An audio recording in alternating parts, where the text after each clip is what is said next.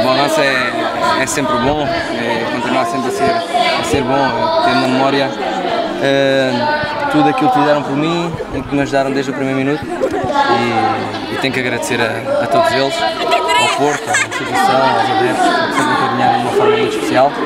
Tenho que agradecer e dizer que vou continuar a, a apoiar o Porto, eh, onde estiver para, e espero que consiga e vai ter equipa para, para conseguir ganhar. Tinha o novo adepto que lhe apresentou. Já tinha e vai continuar a ter. Que desafios é que o Mónaco lhe apresentou?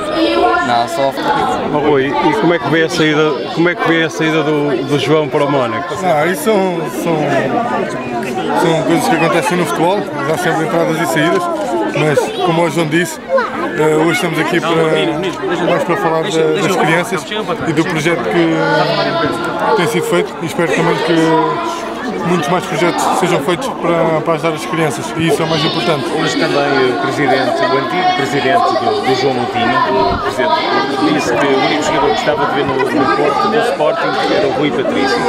Ah, isso é, temos de estar sempre preparados para, para ouvir coisas eh, boas e coisas menos boas. Faz parte do futebol.